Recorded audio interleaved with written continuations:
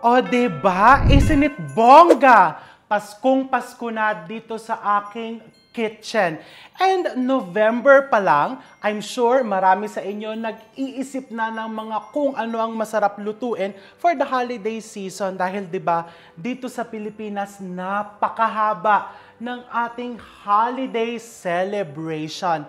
And I remember nung bata pa lang ako, kasama na ako ng nanay ko sa paghahanda ng mga lutuin, shopping for the holiday season. At syempre, hindi nawawala dyan ang recipes from the Del Monte Kitchenomics. Kaya naman today, let's prepare an elevated holiday recipe na perfect na perfect pang negosyo at bitbitin sa mga holiday potlucks.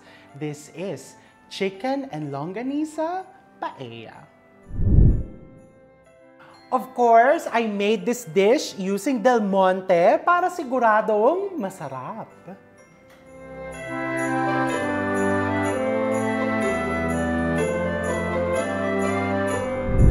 At syempre, bago tayo maggisa-gisa o paiinitin ko na ang aking Chef RV All-Purpose Pot na pwede mong mapanalunan because for today's video, mamimigay tayo ng isang Chef RV's all-purpose pot and 15 sets ng limited edition Del Monte Kitchenomics Gracing Board and Cookbook Set. O, di ba super bongga? So, how to join? Basahin mo ang description box. Okay, so to make this recipe, napakadali. First, ayan, binaliktad ko yung all-purpose pot ko. Gagamitin ko yung takip kasi i-brown muna natin yung ating chicken. I have here chicken thigh fillet with the skin on para mas moist. But of course, pwede kang gumamit ng breast if you like. So I'm just going to put some cooking oil dito sa aking all-purpose pot. I-brown lang natin to para lang mas lumabas yung flavors. Let's make sure na mainit yung ating pot Okay, well distributed ang oil para maging maganda ang browning.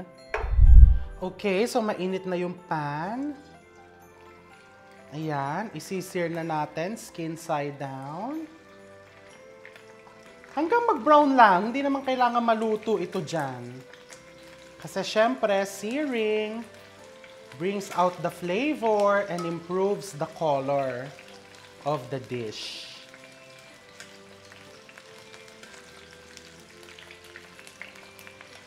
Okay, now yung longganisa, ayan, ibra-brown mo lang to bring out the flavor and para lumabas yung caramelized color niya.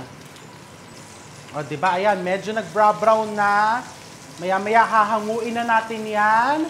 And we will make gisa-gisa dito pa din sa pan na to, yung mga brown-brown na yan, yung caramelization sa pan natin hindi mo tatanggalin yan dahil yan ang magbibigay ng karagdagang flavor sa ating paella dish, di ba?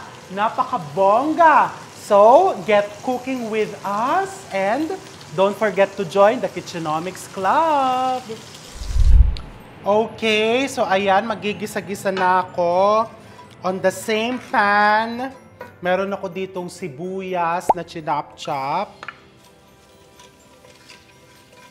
and season it with some salt. Oh, di ba?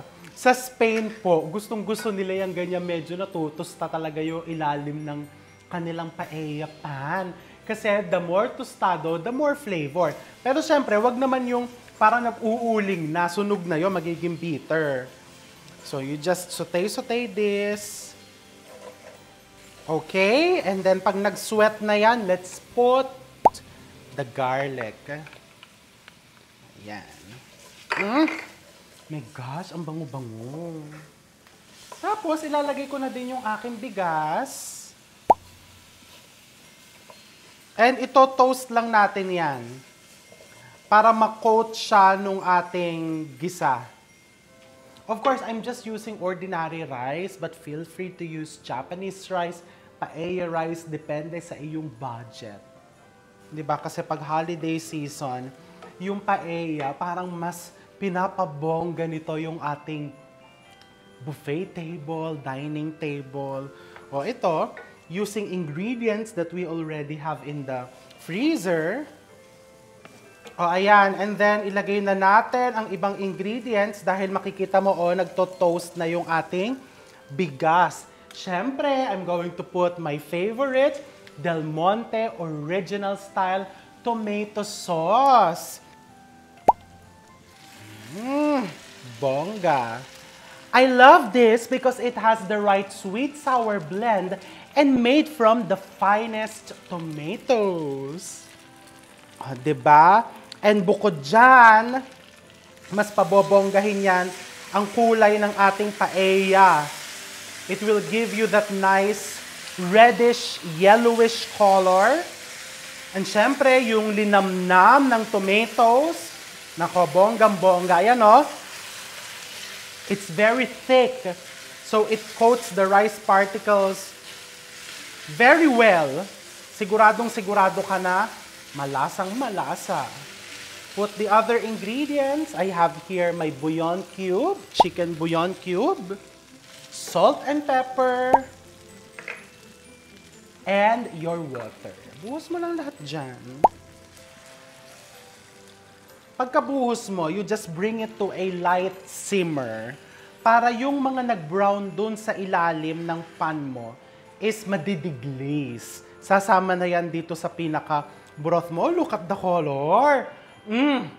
Isn't it super bongga? Wala tayong nilagay dyan na, di ba, yung ibang paella, you put mga spices dito. Wala. Just Del Monte Original Style Tomato Sauce. And look at this very, very nice color. And the smell, my gosh. Ah!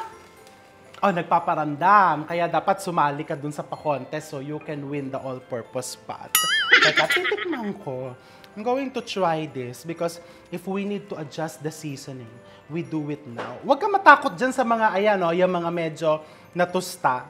Sa Spain daw, social yan. Pagka may natutusta. Pagka sinabi sa'yo ng mga bisita mo, ay, may natusta ka, social yan. O, diba? Totoo talaga yon ha. Pinapasunog, pinapatusta pa nga yung ilalim ng paella sa Spain because they want the tutong. Let's try. Mm. Oh my gosh, so good. Mm. Isisimmer ko lang to saglit. Ah, di ba, nandito pa lang tayo. Napaka-flavorful na. Talagang napaka-bongga talaga. So you have to get cooking with us and don't forget to join the Kitchenomics Club.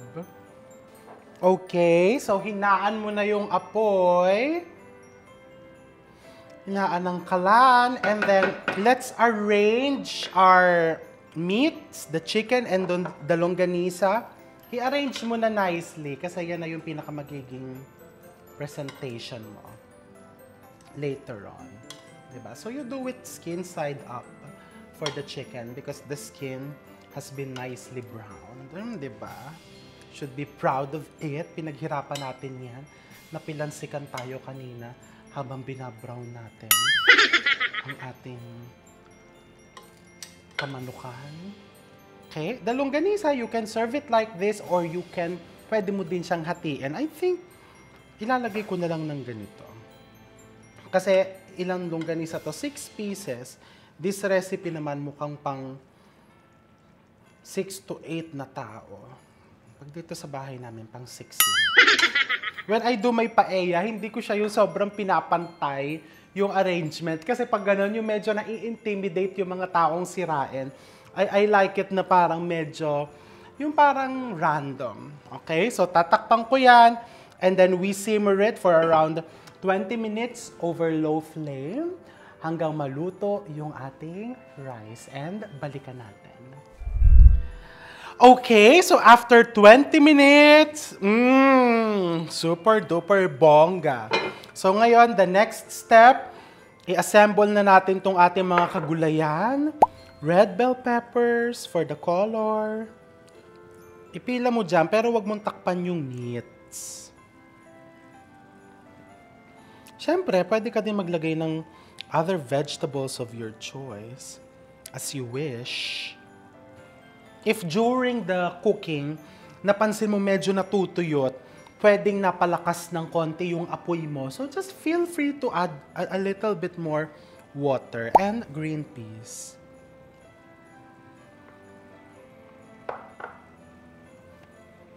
And then, tatakpan ko lang ulit to for 10 minutes para mag-steam yung ating vegetables. And then we're ready to serve it. Ah, diba? So if you're looking for more exciting recipes for the holiday season, you can get a free digital access to the limited edition 39th anniversary cookbook by joining the Kitchenomics Club. So join ka na doon. Doon tayo magchichikahan, mag-exchange ng recipe ideas, di ba? Lalo ngayong holiday, talagang Nako, kung ano-ano nang pumapasok sa isip kong iluto kasama na tong paella na to. So, takpan natin and let's cook it for 10 more minutes and then balikan natin and tikman. Meron ako ditong hard-boiled eggs. Ia-assemble ko yan mamaya. Mm. Okay, so it's been 10 minutes and mmm, surprise! Look how bongga is that. And ngayon, ilagay na natin yung ating hard-boiled eggs. Pila mo lang dyan. Randomly.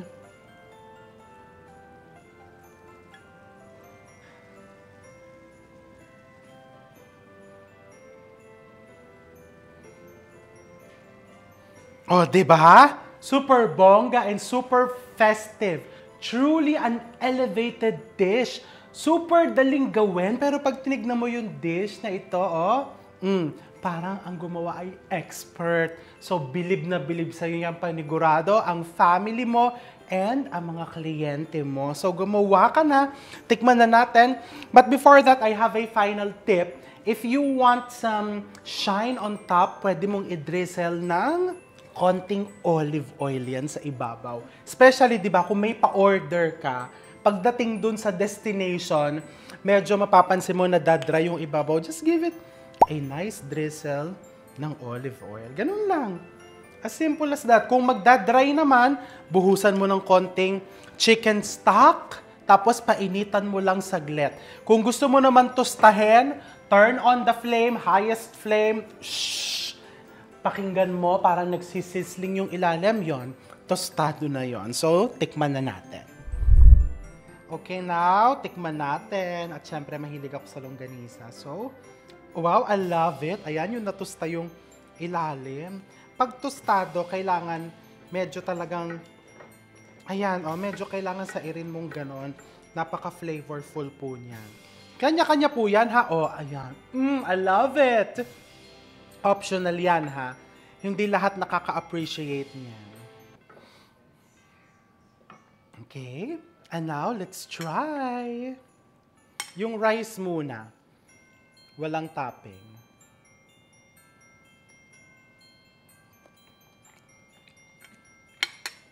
Mm. Oh my gosh. Mm. Super duper good. Now with the longanisa, and the rice.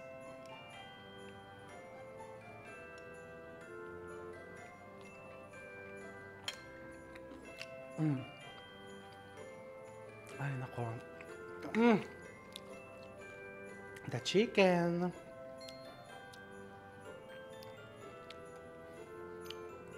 Ayaw sumama sa akin. Ayan, sumama na.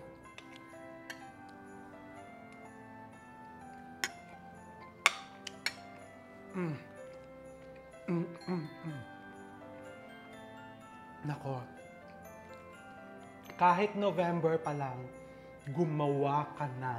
Because it's super duper good. Ang sarap-sarap. My gosh. Kanin pa lang. Yung rice pa lang. Mm, mm, super delish. So, I'm going to see you all soon for more recipes featuring Del Monte Kitchenomics.